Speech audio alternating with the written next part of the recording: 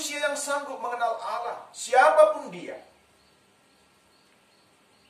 Dalam Alkitab kita, tidak pernah manusia yang mencari Allah.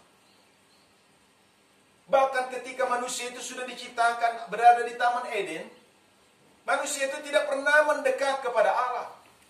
Apalagi setelah dia jatuh ke dalam dosa. Justru manusia itu bersembunyi dari hadapan Allah. Dan ketika manusia itu bersembunyi oleh karena dia sudah jatuh ke dalam dosa, Allah sendiri yang datang mencari dia. Allah sendiri yang datang untuk menemui dia. Menemui kita. Dan hal yang sama juga kita lihat. Dalam kitab-kitab perjanjian lama. Allah yang datang kepada Nuh, bukan Nuh yang mencari Allah. Allah yang datang kepada Abraham, bukan Abraham yang mencari Allah. Allah yang datang kepada Yakub, kepada Daud, kepada semua para nabi. Tidak pernah manusia yang mencari Allah.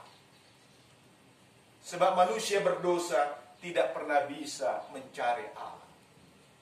Meskipun di dalam kitab Amos, di dalam kitab Nabi-Nabi, Sang Nabi mengatakan atau Tuhan mengatakan kepada para melalui Nabi kepada umatnya, carilah Tuhan tetapi itu tidak dalam pengertian mencari dalam pengertian supaya dia menemukan.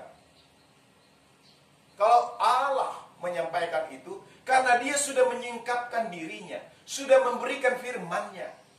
Kalau disuruh mencari, bukan berarti supaya menemukan Allah. Tetapi itu, oh supaya mereka bertobat, supaya mereka kembali kepada Allah. Karena mereka sudah tersesat. Sebab Allah sudah menyingkapkan dirinya.